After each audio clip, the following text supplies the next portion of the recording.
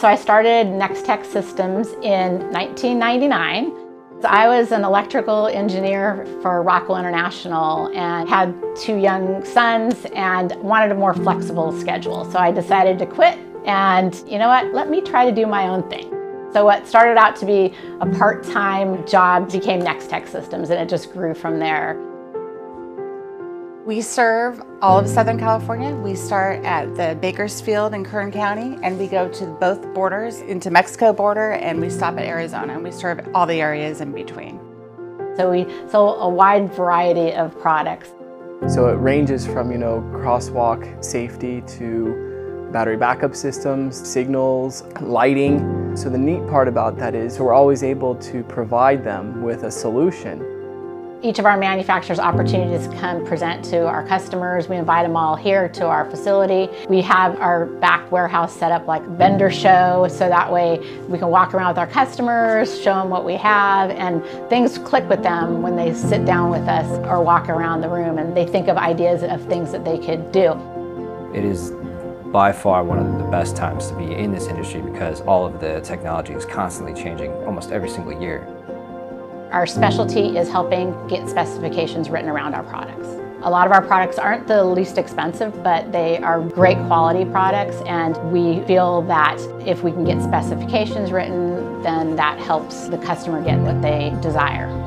We tend to be very communicative. We tend to follow up profusely. We want to make sure that the customer is completely satisfied, and if they're not, we're going to fix it. That's what makes us unique. We work with our customers even if there's nothing that we can sell them because they've called us because they know that we'll at least point them in the right direction.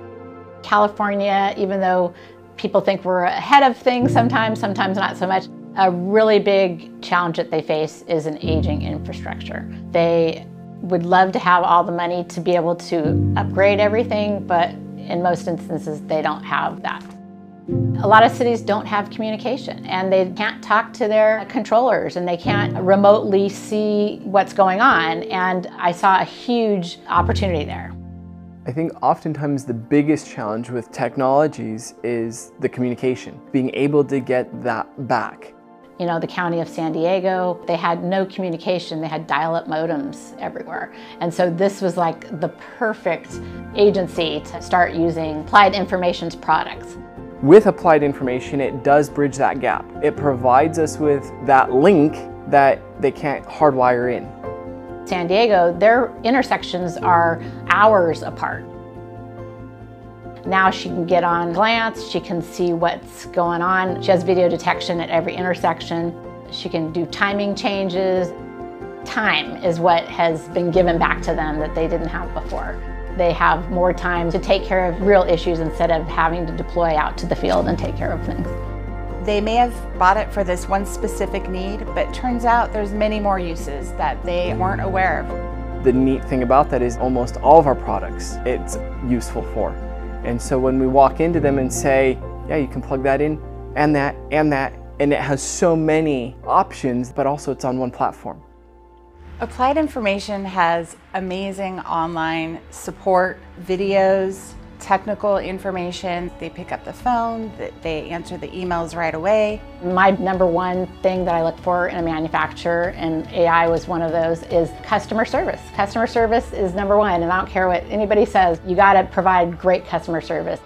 It is apparent how much hard work and talent they have at the company and how that all works together.